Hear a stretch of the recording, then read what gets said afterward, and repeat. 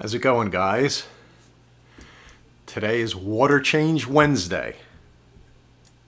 I'm going to be performing a little surgery today with these forceps.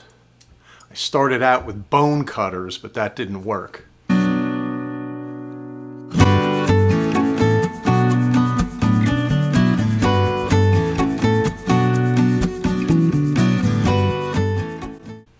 If you look behind me and you're perceptive, you'll see that the Pocillopora, the whole colony, is in a different location. I'm going to show you what happened today to have it wind up there. New viewers, this is Water Change Wednesday. You ask questions out underneath the video in the comments below, and I answer them there, and then I'll answer them here. I thought what we'd do today is we'll do the water change Wednesday, and then I'll show you what I did inside the tank here.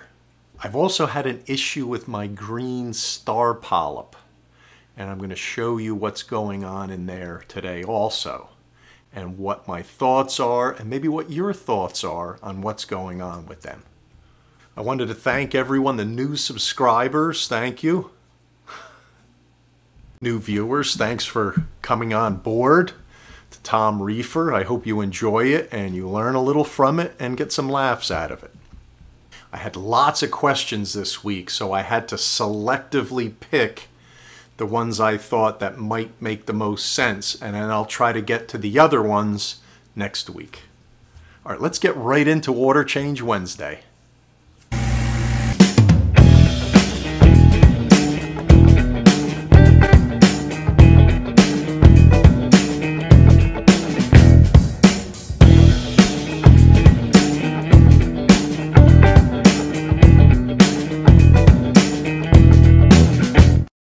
Here's one from Barry's Aquarium. He's having trouble with his xenia. He said for months they were growing awesome, and now suddenly they're starting to die back. Xenia are known to do that.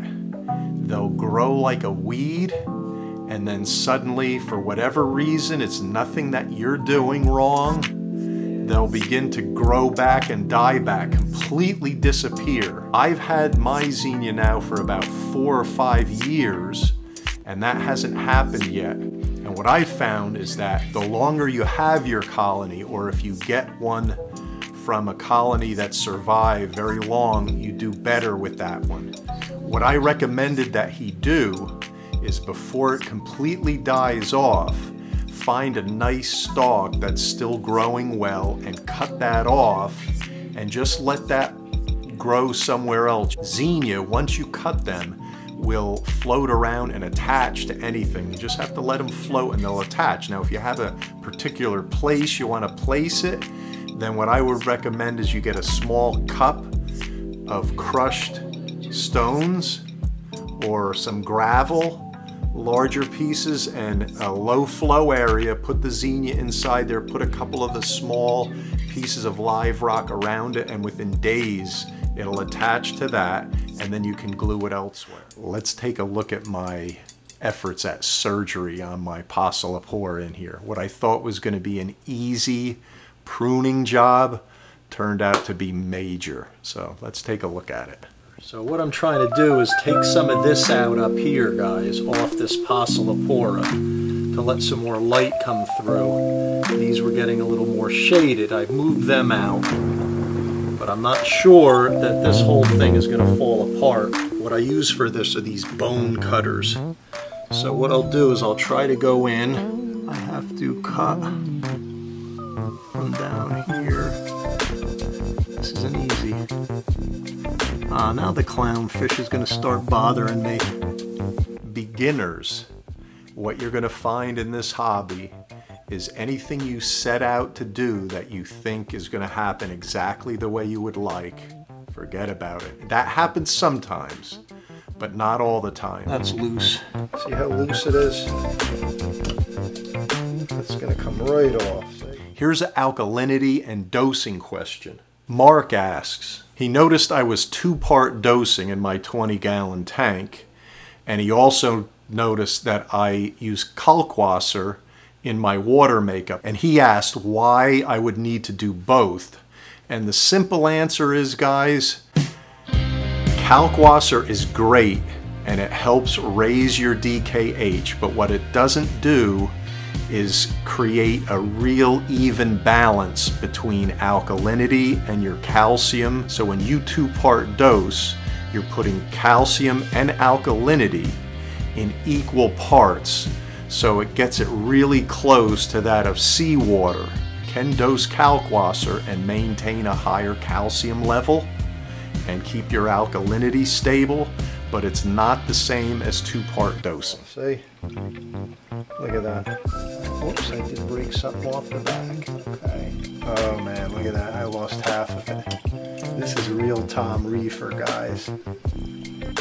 You know, it's just not going to glue on there. There's no way I'm going to get any kind of glue. Ooh, that might work. Found a spot. All right, so you can see here, Pocillopora is now down below. Before, it was up near the top. And what I've done, I haven't glued it in there, so this potentially might be a temporary thing, but maybe not. It's down there. It looks aesthetically pleasing in my opinion. It's okay.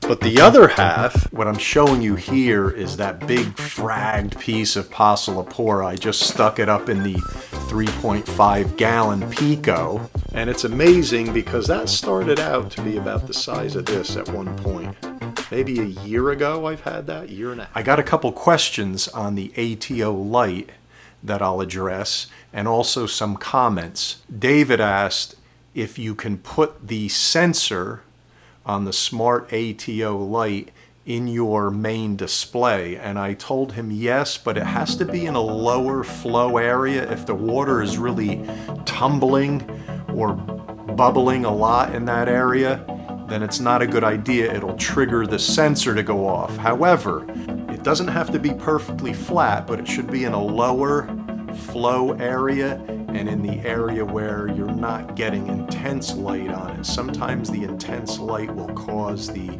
sensor not to come on. I've never had that problem. Uriel says, he just got some green star polyp, and for the first few days they were doing well. They were open, and then after a few days they closed.